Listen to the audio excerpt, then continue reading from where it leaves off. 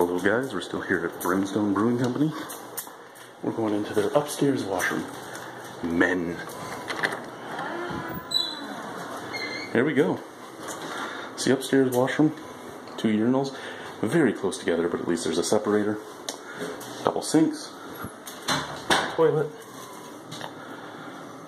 Lots of room, oh, I guess. Ow. Yeah, not all that much room. I did hit the thing as I came in. Another acceptable washroom, the upstairs washroom, the one for the the one for the concert venue. Acceptable, not amazing, acceptable. Out of 10 on this one, probably just a straight up 7. Thank you guys. Bye bye.